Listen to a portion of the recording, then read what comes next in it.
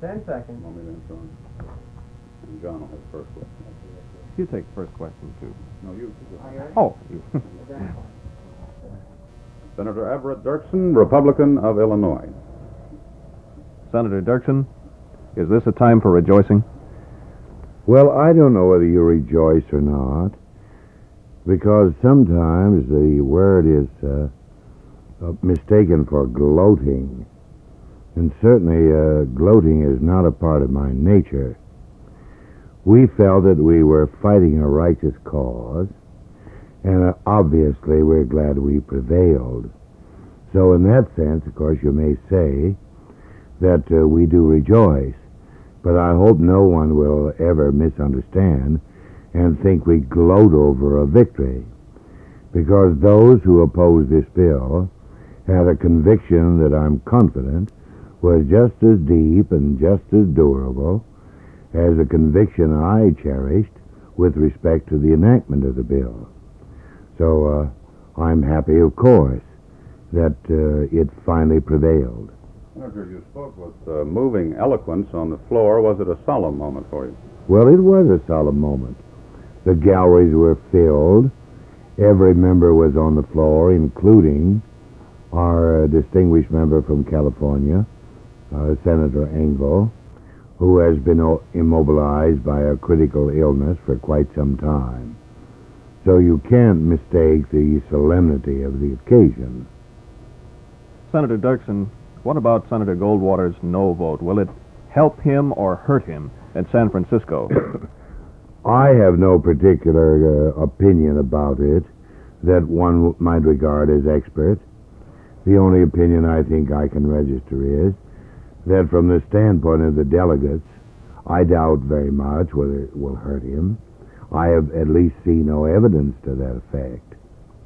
Looking ahead to the election, Senator, if Senator Goldwater is your Republican standard bearer, uh, will his stand on civil rights change the possibilities of a victory in November? Well, it'll have some impact, obviously, on those who have been very zealous crusaders in this cause. That might be the clergy. It, it could be uh, those groups, uh, liberal in tendency, who uh, go very much for this cause. And it, it might have some effect on them. Now, obviously, you have to put this in the form of an equation. You have to balance it up because it will have effect on one side and on the other. And on net balance, I doubt whether anybody can say exactly what the ultimate result will be. Senator, do you recall any other piece of legislation, sir, that compared with this uh, in civic magnitude? No, and I recall no other piece of legislation that received so long and meticulous attention. I know the time that we devoted to it, and when I say we, I'm thinking particularly of the, the what I regard as an expert staff, young men who are on the subcommittees of the Judiciary Committee, who have been most helpful all along the line. And you lived with it every hour and every minute of the day, knowing that the Senate could do no other business except by unanimous consent until this had finally been disposed. Senator, following Senator Goldwater's vote, we've heard some talk from some of the Southern senators about the possibility of Democrats crossing over to the Republican side in the South in November if Senator Goldwater is your standard bearer. Any views on that? No views, except, of course, that that is a possibility. I can well understand it. But I understand also how deep rooted is the Democratic faith in the southern states. I know also that with respect to the laws governing elections and the selection of uh, your whole organization pattern in the southern states, that it might not make a great deal of difference. But I would guess offhand, and this is an estimate off the top of my head, that he would probably gain on balance in the southern states. Senator, in your uh, summation, sir, you spoke of unprecedented bills, pieces of legislation in the past uh, that now are accepted years later. How long, sir, do you think uh, before this schism is healed? How long before you think the provisions of this civil rights bill will be accepted? It will take some time. I don't know that I can target it in a period of years. But like everything else, there's got to be adjustment, and that period of adjustment will come. Uh, it's going to take some time because, as everyone knows, this has been shot through with emotionalism.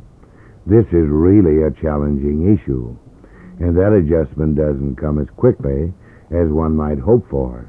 But ultimately, it must come. And so you just abide the time when uh, the scars will be healed, when the waters will subside, and at long last, we continue to move forward as a national entity. Senator Dirksen, the Senate has passed a civil rights bill. It is not the same bill which the House passed. What will happen now? Will there be a long delay again on this bill before it goes to the President? I trust not. Of course, the House has been advised, or perhaps I ought to specify and say the House leaders who have been instrumental in the civil rights fight in the House have been constantly advised of what's going on and what changes have been made in the Senate. The Department of Justice knows full well what the changes have been. So I'm hopeful that it may not go to conference, although on that point I can't be sure.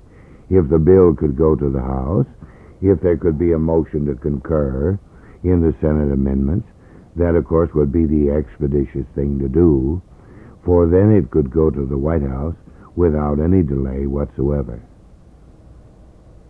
Senator, who do you feel is most responsible? What individual most responsible for the passage of this bill? Oh, I don't know that I can name anybody particularly, but I do want to salute Senator Humphrey of Minnesota. He was the floor captain of the bill in the Senate, and I think he did a perfectly magnificent job. I salute the majority leader, Mike Mansfield, who is the very essence of tolerance and humility and self effacement and who has somehow adjusted himself to every condition. It has been a trying moment for him. There are others as well, but those two I pick out in particular because they had a tremendous impact upon this measure. Senator, according to a national publication this week, sir, you practically wrote the bill yourself. Well, I know how those encomiums are and, and I prefer probably to stay in the background and not take that kind of credit. I can say, as a matter of fact, that there are probably 70 or 75 amendments that we wrote into the bill, both of substance and some that are not too consequential, which uh, got into the bill, and it had much to do with its passage, I think. Senator, I'd like to get back to one point, and that's on politics as the result of the Civil Rights Bill passage. We've heard some talk from some Southern senators here today about a possible realignment of the political parties coming out of this. Do you feel this might happen? Well, I've been around these diggings for 31 years, and I've seen these various committees set up of really stalwart, outstanding Americans who uh, started out with a purpose and objective of bringing about uh, a realignment of the parties. It has not yet happened. It will require a considerable lot of doing before that ever is encompassed. I do hope, of course, that it can be done and that at long last we can get rid of any sectional spirit and that we can have a two party system in every state in the Union. Thank you, Senator. Thank you. Position you've taken on this bill to change any of that? Oh, goodness, I do not know. And as a matter of fact, I do not care. You see, I got to live with my own conscience. And I have to do what I think is the right thing to do. So that when the time comes for me to shuffle off this mortal coil, I can at least feel that without being mercenary or mendacious or deeply personal about what I do, that I've done what in my judgment was the righteous and proper thing at the time in the interest of the country.